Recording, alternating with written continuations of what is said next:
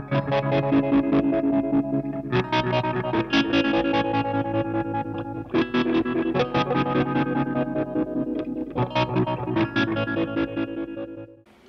everyone. I've been meaning to redo the how to bias a Rangemaster clone video. Uh, I've got a bit of a better way.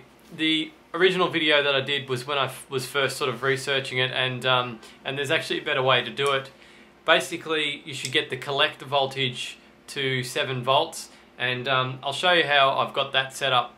This is how I've biased my germanium boosters, the four that I sold. I don't have any left but um, yeah that's how I biased um, the four germanium boosters that I built. Um, so I'll show you how to do that. So I've got it all set up. This is the Mad Bean Rangemaster, and basically the way that you um, that you bias it is you want to get 7 volts on the collector of the germanium transistor, which is this little thing here. Um, I'll just zoom in a bit so you can see it a bit cl closer. Um, and I've got pretty much everything on here is stock um, as as the circuit should be, except I've got for R2 I've put in a 5k potentiometer and for R1 I've put in a 100k I'd assume, yep, 100k potentiometer for that one. So I need to get 7 volts on the collector, so I just adjust those two R1 and R2 until I've got 7 volts on the collector, and I'll just show you that now. So I just had to set that up so you can see the screen on the multimeter. But basically, you just put um, uh, you're just measuring the collector the collector voltage. So you just put the probe on the collector there, and the other probe on negative, of course. And then uh, the ideal voltage is reportedly seven volts.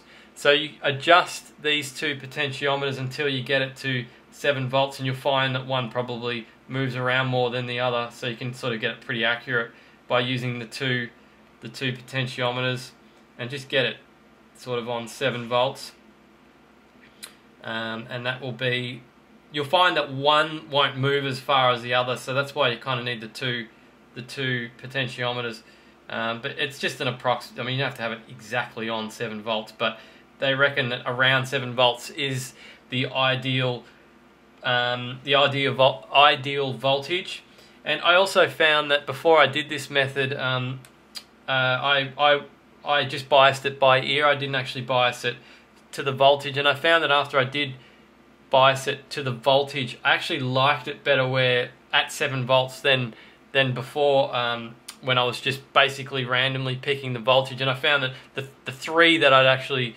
biased were, were all over the place. One was on 1 volt, the other one was on 6 volts. And I found that once I did them all on 7 volts, it was the results were consistent and um, I thought they actually sounded better uh, which is usually contradictory contradictory to how I do biasing. I usually go by ear and, and not so much by the voltages, but um, for this one it was actually better to do that. So once you've biased it, you can just take off the um, the potentiometers, just take the lugs out and, and measure the, the resistance between them, and then get a get a resistor that's close to that value and pop it in the circuit, and you're done. So I, I think that's a better way of, of biasing it than the than the other way that I was that I was um, I previously said to do it. So yeah, um, hopefully that helps you bias your Rangemaster and um, yeah, give it a go. It's a good it's a good booster. I, I, I really like it. Thanks for watching. Don't forget to subscribe.